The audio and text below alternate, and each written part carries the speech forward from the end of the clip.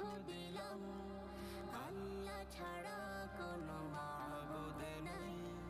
শেষ নবীজির পরে